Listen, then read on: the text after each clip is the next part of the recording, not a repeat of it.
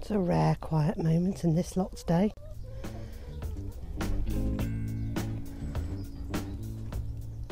I've been inspired by different people over the years in many different ways by different things. Um, but most recently, I've been inspired by a whole bunch of uh, smallholders or homesteaders who have taught me so much via the magic of the interwebs um, about looking after animals, looking after the land, all sorts of things. Um, and when we started uh, on our small holding about 15 months ago, we knew almost nothing. I was quite a good gardener, but keeping a small holding, a homestead, is a completely different thing again. So I spent a lot of time watching, reading blogs, watching vlogs, looking at websites to learn as much as I could, and and I really did learn some very very useful stuff. Um, and I followed out, followed the advice that I saw online and on YouTube vlogs. Over time, um, little bit by bit, I've discovered that an awful lot of the practices that I was doing, I was being guided by um, American homesteaders, and the laws in the UK are a bit different.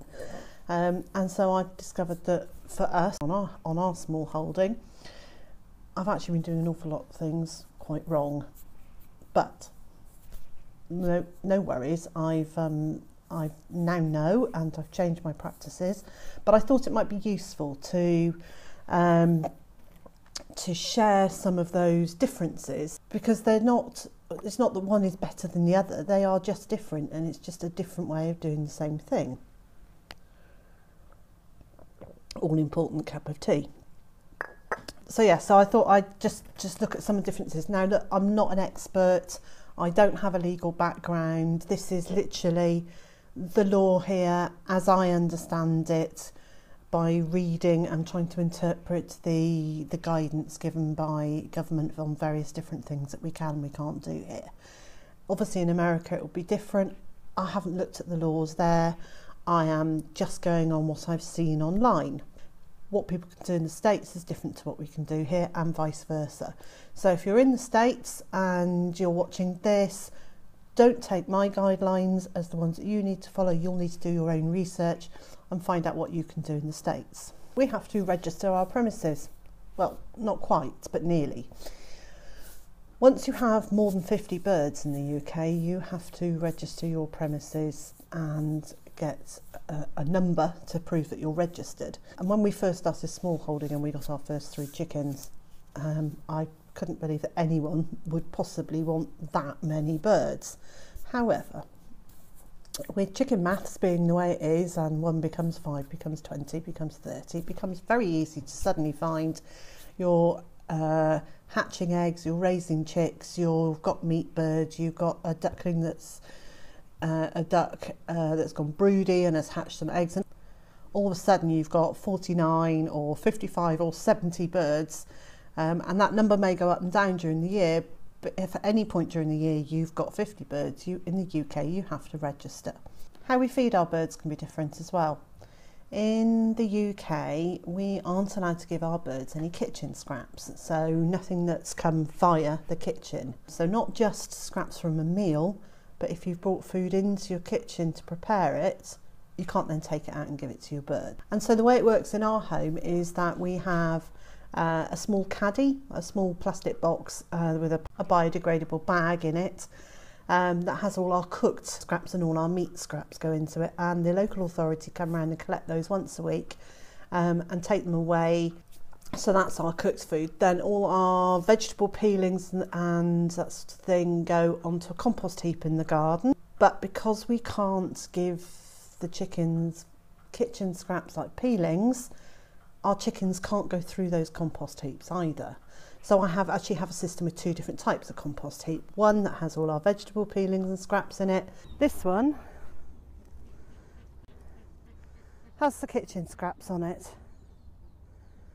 And one that has uh, vegetable bits from the garden. So when I pull up, for example, leeks to cook those, I'll chop the top off the leek, I'll take the root off the leek um, and the outer leaves, and I'll they never even come into the kitchen. They stay outside, and they go straight on to the compost heaps that the chickens are allowed. Um, and we we actually build a big circle of straw bales in the chicken field and put everything into the centre of there and we call that their circle of love. They absolutely love being in this. Um, it's sheltered from the wind because they can hunker down underneath there the straw bales um, and then scratch away to their heart's content. Um, they certainly love it there, that's for sure.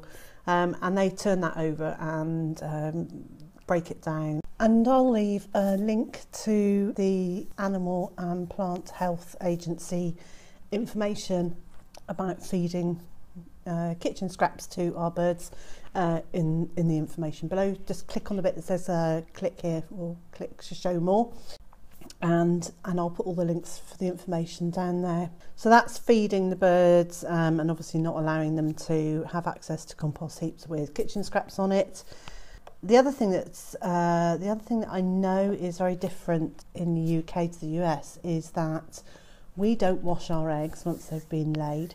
There's a protective coating around the outside of an eggshell which uh, if you wash the eggs it washes that off and then they need to be kept refrigerated. So in the UK and in the rest of Europe because the UK is still part of Europe it's been decided that the best thing to do is to not wash eggs and to uh, keep them stored at room temperature. So when you go into a shop or a supermarket in the UK you'll find um, boxes of eggs and they usually but not always usually uh, compressed cardboard boxes and they're not refrigerated. So it's not that our eggs are going to be dangerous or anything if you come here and you want to use our eggs. It's just a, di it's just a different way of storing them, that's all. Um, what I do know is that if you refrigerate an egg, it has to be kept refrigerated. You can't then let it back come back to room temperature because the bacteria will pass through the eggshell into the egg, making it unsafe. When it comes to dispatching um, birds, Uh, again, the UK is, is different to the US. Uh, smallholders, backyard keepers and small farms can slaughter on site um, a maximum of 70 birds a day, but we can't just pop them into a killing cone and cut their throats. We have to dislocate their necks first, um, so we have the bird has to be unconscious before it's bled out. So we've had to learn how to either hold a chicken by its by its legs at one end and hold its neck at the other and just gently pull uh, until you feel the click of its neck dislocating, or you have to uh, use a broom handle method where you lie the bird on the ground and you put a broom handle across the top of it with your feet either side, um, hold the legs and pull upwards and back, and that will dislocate their neck as well.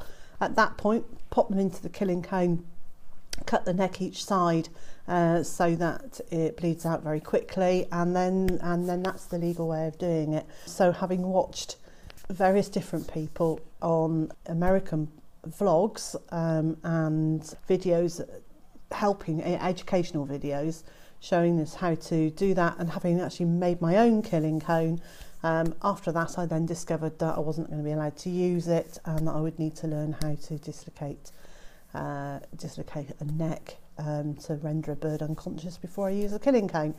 Um, so it's been a steep learning curve and, and I'm sure as time goes on there'll be there'll be more things to learn and I'll discover other things I'm doing not quite right and obviously as soon as I as soon as I've learnt that I'm not doing them correctly I'm then adjusting my practices um, because actually it's there isn't a manual called everything you need to know uh, in every circumstance ever. Um, it just doesn't exist and it can't. And obviously, because the law changes as time goes on, anybody who wrote that manual now, it would be out of date again as soon as a, a, a law was changed, even slightly. Now, the other thing that's having an enormous impact on poultry keepers in the UK at the moment um, is the threat of avian flu. And since the beginning of December, since December the 6th, we by law have had to keep our birds inside. So they either need to be completely housed or if they are allowed out of a house, they have to be completely protected from any contact with wild birds. So, being the amazing uh, poultry keepers that we are, uh, we found all sorts of ingenious ways of keeping our birds safe and protected. So, people have put them into uh, greenhouses, into polytunnels.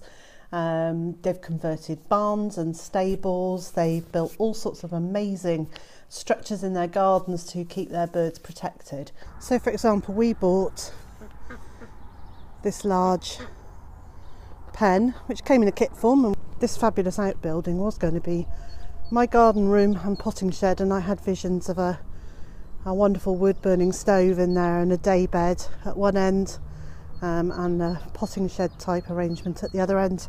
However, the bird flu situation meant everything changed. Um, and I strapped a load of pallets together along the front here, uh, built a door frame, more pallets, there's chicken wire above it, um, and it gives them a secure, safe place to be.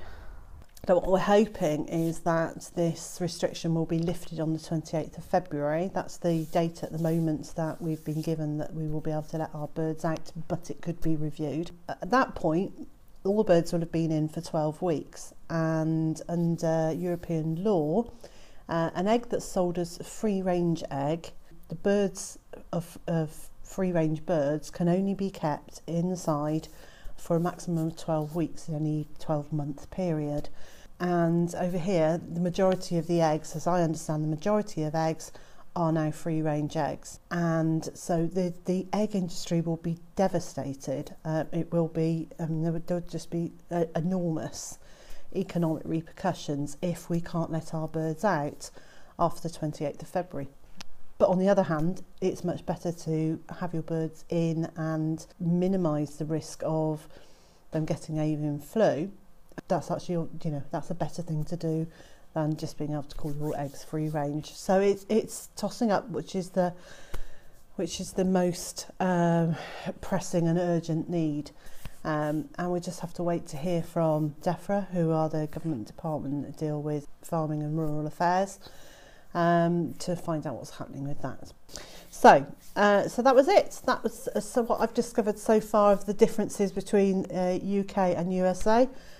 What I have discovered, um, which I probably knew anyway, was that poultry keepers are fabulous people, um, and actually all we want to do is do the best for our birds, um, whether we're keeping them as pets, um, whether we keep them for their eggs to sell, uh, whether we keep them as meat birds, wh- whichever reason we keep our birds, what we want to do is we want to do the best for them um, and keep them safe and treat them humanely.